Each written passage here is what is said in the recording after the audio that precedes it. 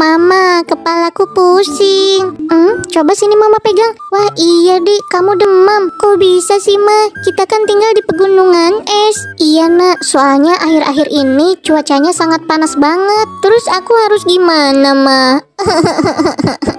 Mama, semua teman-teman aku di sekolah bilang katanya aku jelek.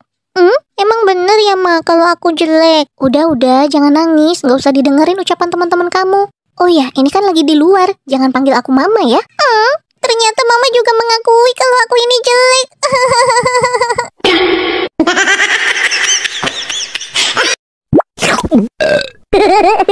Sayang, kamu jangan khawatir ya. Besok aku diet kok.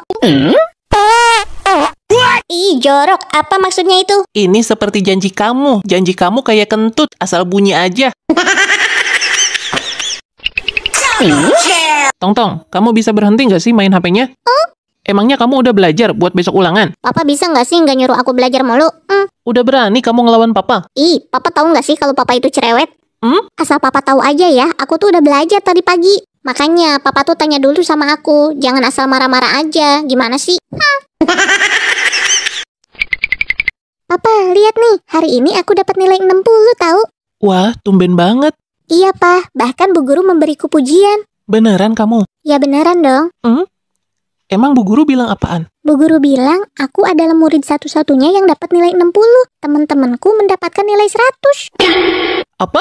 Kamu nggak bisa apa dapat nilai yang lebih tinggi? Hah, Papa, aku kan gak suka ketinggian. Papa kan tahu sendiri. apa kamu nggak malu apa sama teman-teman kamu? Semua teman-teman kamu dapat nilai 100 sedangkan kamu 60 sendirian? Ngapain aku harus malu? Hah, meskipun kecil tapi kan sudah ada peningkatan. Papa, semoga cepat sembuh ya. Aduh, papa haus nih. Ya udah nih. Eh, Papa, nanti aku boleh makan lollipop kan? Iya, iya.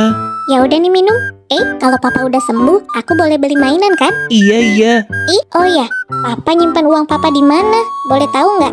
Di bawah kasur. Oh, hehehe. Mama, Papa nyimpan uang di bawah kasur. Adik, Loh,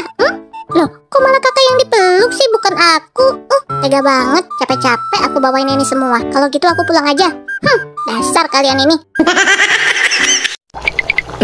Mama, Mama lagi masak apaan? Oh, ini. Mama lagi masak mie bekicot, sayang. Kamu mau?